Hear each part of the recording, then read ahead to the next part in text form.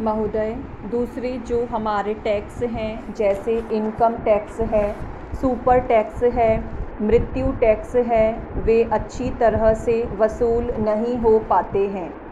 बहुत से धनवान लोग जो इन टैक्सों के देने वाले हैं, वे सरकार को किसी न किसी तरीके से धोखा देकर इन टैक्सों के देने से छूट जाते हैं। और सरकार भी उन से इन टैक्सों को वसूल नहीं कर पाती हैं। इसीलिए मेरा निवेदन है कि जो ऐसे धनवान लोग हैं, जिनके ऊपर सरकार का टैक्स बकाया है, जो टैक्स देने में चोरी करते हैं उनसे सख्ती के साथ टैक्स वसूल किया जाना चाहिए।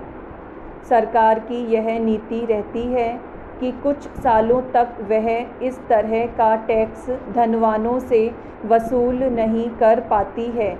उन्हें बाद में माफ़ कर दिया जाता है। इस तरह की जो नीति है, वह अच्छी नहीं है। सरकार को धनवानों से समय पर और सख्ती के साथ टैक्स वसूल करना चाहिए। हमारे देश में वातानुकूलित बात चारों तरफ़ चल रही है। रेल में आप जाइए तो आपको डिब्बे वातानुकूलित मिलेंगे और चीज़ों के रखने के लिए भी अब वातानुकूलित मकान बनने लगे हैं। इसीलिए मेरा निवेदन है कि जितनी भी हमारे देश में ऐसी चीज़ें हैं, इनके अतिरिक्त जैसे शराब है, सिगरेट है, इन पर भी सरकार खूब टैक्स लगा सकती है और अपना घाटा पूरा कर सकती है। इसके उपरांत अगर इनकम टैक्स और सुपर टैक्स में बढ़ोतरी की ज़रूरत है तो वह भी उसको बढ़ाना चाहिए। लेकिन जो नए टैक्स बढ़ाए हैं, उनमें खासकर कृषि पर जो टैक्स लगने जा रहा है, सरकार को चाहिए कि उसे माफ़ कर दे, उसे बिल्कुल हटा दे। मैं इस संबंध में इतना ही अपवाद ग्राह्य मानता हूँ कि जिन व्यापारियों ने काला बाज़ार में पैसा कमाया है, अगर वे अपना पैसा छिपाने के लिए उसको ज़मीन पर लगाते हैं, यानी खेत मोल लेते हैं, अगर अंगूर के बाग लगाते हैं और इस तरह से अपने काले धन को सफ़ेद धन करना चाहते हैं ऐसे धनवानों के ऊपर कृषि टैक्स लगाने में मुझे कोई दिक्कत नहीं है। वित्त मंत्री महोदय का कहना है कि जो इनकम टैक्स देने वाले लोग हैं, अगर वे खेती करते हैं तो उन्हीं के ऊपर यह टैक्स लगाया जाएगा। लेकिन मुझे डर इस बात का है कि जब सूखे के साथ गीली चीज़ भी जल जाती है तो ऐसा भी हो सकता है कि धनवान किसानों के बाद धीरे धीरे मध्यम तथा छोटे किसानों की भी बारी आ जाए और इस तरह से धीरे धीरे मध्यम तथा छोटे किसानों पर भी टैक्स लग जाए। दूसरी बात, मैं यह कहना चाहता हूँ कि हर प्रांत में कहीं ज़मीन की मर्यादा 25 एकड़ है। कहीं पंद्रह एकड़ है, कहीं चालीस एकड़ है। खेती के उत्पादन की क्षमता वार्षिक अट्ठारह सौ रुपये की आय मानकर किसानों की इकोनॉमिक होल्डिंग बना दी गई है। उन सब किसानों का भूमि राजस्व सदा के लिए माफ़ कर देना चाहिए, क्योंकि शहरों में जिनके पास खेती नहीं होती। महोदय पहले विश्व युद्ध के बाद जितने पूंजीवादी देश थे, वे करीब करीब ख़त्म हो करके सिर्फ़ चार देश रह गए थे, जो नाम गिनाने लायक थे। ब्रिटेन, जापान, अमेरिका और फ्रांस ये चार राष्ट्र थे, लेकिन दूसरा विश्व युद्ध समाप्त होने के बाद सब देश इतने कमज़ोर हो गए कि दूसरी श्रेणी में आ गए। सिर्फ़ एक अमेरिका रह गया और मैं आपसे कहना चाहता हूँ, जो आगे का समय आने वाला है, निश्चित रूप से अमेरिका की वह शक्ति आगे जाकर नहीं रहेगी, क्योंकि संसार में जो गरीबों की शक्ति बढ़ रही है, उस शक्ति को कोई रोक नहीं सकता है।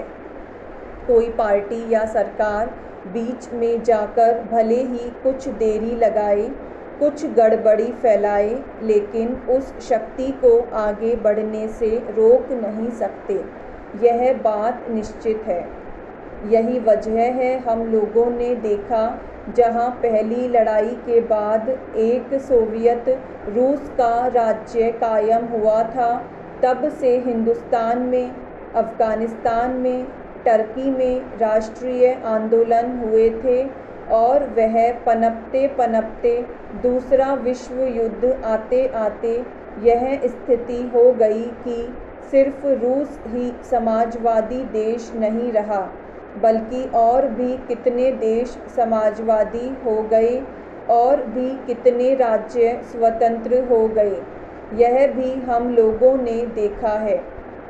मेरे कहने का मतलब यह है कि दोनों शक्तियों के टकराव में जो गरीबों की शक्ति थी, मज़दूरों की शक्ति थी, काम करने वालों की शक्ति थी और दूसरी पूंजीवादी शक्ति थी, उसमें जो कमज़ोर शक्ति थी, वह कमज़ोर होते हुए भी आगे बढ़ रही है। इसीलिए कहा जा सकता है कि अमेरिका की शक्ति का भी हास होगा। और अभी जो घटनाएँ अंतर्राष्ट्रीय क्षेत्र में हुई हैं, वे इस बात का प्रमाण हैं कि उनकी शक्ति दिनों दिन कम हुई है। लेकिन यह भी सही है कि इसमें रूस का भी हाथ है। रूस ने इधर बांग्लादेश के समय या उसके पहले भी और इस वक्त भी, यानी इसराइल और अरबों के युद्ध के समय भी, जो भूमिका अदा की उसमें रूस ने अच्छा काम किया, इस बात को हम मानते हैं।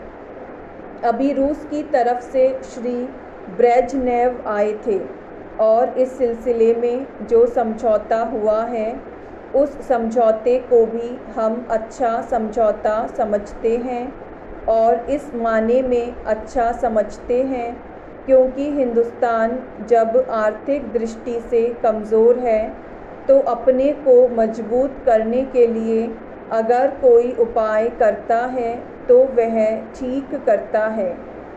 लेकिन एक दोष हिंदुस्तान में भी है, और वह दोष यह है कि हिंदुस्तान के लोग इतने भावुक हैं कि वे अपनी भावनाओं के बहाव में बह जाते हैं और इतने बह जाते हैं कि जितना उन्हें नहीं बहना चाहिए।